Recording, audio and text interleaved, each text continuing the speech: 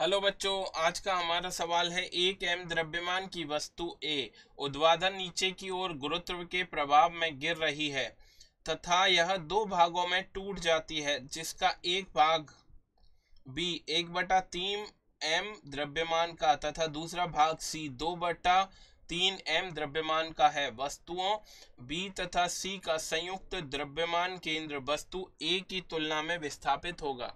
चार ऑप्शन दिए गए, हमें सही ऑप्शन बताना है। अब देखिए, हमारे पास क्या है? कोई ऑब्जेक्ट ए है। ये क्या होता है? अचानक से दो पार्ट बी और सी में टूट जाता है। बी का द्रव्यमान है एम बटा तीन और सी का द्रव्यमान कितना है? टू एम बटा तीन। अब ये गुरुत्वाकर्षण के कारण किधर है? नीचे की दिशा में गति कर रहा है। तो इसका जो सेंटर ऑफ़ मास या द्रव्यमान केंद्र है, वो उसी वेग से गति करता रहेगा क्योंकि टूटना किसके कारण होता है?